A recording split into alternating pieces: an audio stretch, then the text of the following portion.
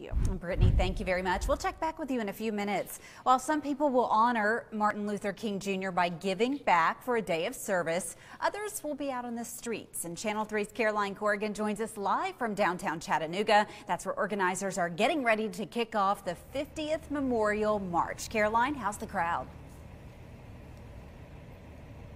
Well, hey, Lori, that bitter cold weather isn't stopping anyone here. People are already gathering for this march, which starts in about an hour. I was able to sit down with one of the organizers earlier today. She says while they do have a lot to celebrate today, she does think there is work that still needs to be done.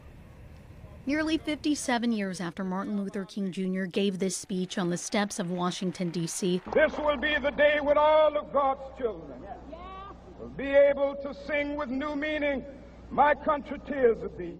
Members of the Chattanooga community are preparing for the 50th annual Memorial March. The parade and march is a remembrance of those that have come before us that actually gave their little blood, sweat, and tears. Pastor Charlotte Williams with the Unity Group of Chattanooga says it's an opportunity for people to reflect on the work Dr. King devoted his life to. He was one that was able to show us that if we do not change, then we will all perish together.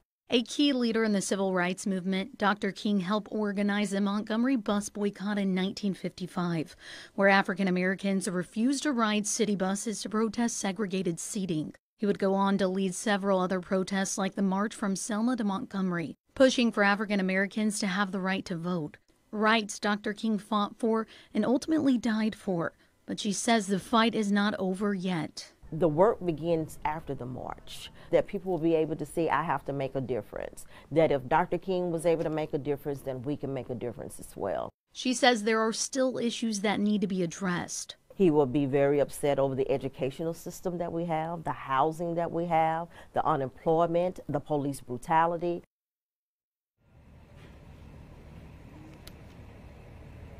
Now, portions of Georgia Avenue and MLK Boulevard will be closed during this time. I'm told this march does start at 1 o'clock, and as you can see behind me, people are already starting to gather, but they will march up MLK Boulevard to Olivet Baptist Church, and that starts at 1 o'clock, and the roads should be reopened by 3 o'clock, but you can expect a big crowd here today.